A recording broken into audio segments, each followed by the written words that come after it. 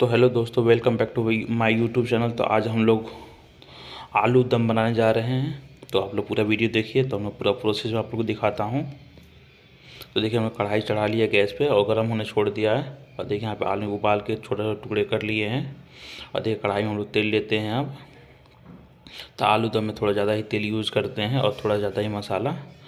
तो ये है मेरे घर की स्टाइल में सब्ज़ी। तो आपको दिखाता हूँ मेरे घर में कैसे आलू दम की सब्ज़ी बनती है। देखिए इसमें तेज़पत्ता डाल दिया है और थोड़ी देर से उसको लाल होने देते हैं। तो देखिए तेज़पत्ता लाल हो चुका है। तब इसे हम लोग जीरा डालने जा रहे हैं। तो देखिए हम लोग जीरा डाल दिए हैं इसमें और थोड़ी देर इसको लाल होने के बाद इसमें आलू टूटे हुए आलू डाल देंगे। देखिए मैंने उबाल के आलू को और थोड़े टुकड़े कर लिए थे पहले ही। और इसमें हल्दी डाल देंगे और हल्दी को मिला देंगे। और थोड़ी देर ऐसे धीमी आँच भी इसको पकने देंगे कि हल्दी के कड़वापन निकल जाए इसमें से। तो वीडियो आप मेरा कहाँ कहाँ देख रहे कमेंट के ज़रूर बताइएगा आप लोग और थोड़ा सा वीडियो मेरे सपोर्ट करिए क्योंकि सब्सक्राइबर नहीं बढ़ रहे हैं।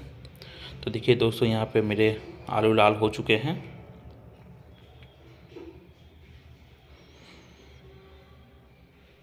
तब इसमें मैं मसाला डालूँगा और टमाटर डालूँगा तो ये मैं टमाटर थोड़ा काट के रख लिया था तो टमाटर डाल दिया है और पीसा हुआ मसाला, जीरा, काली मिर्च और धनिया का पेस्ट हमने डाल दिया है इसमें।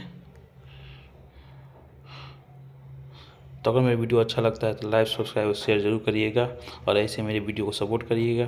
तो इसमें मैंने हमने नमक डाल लिया है।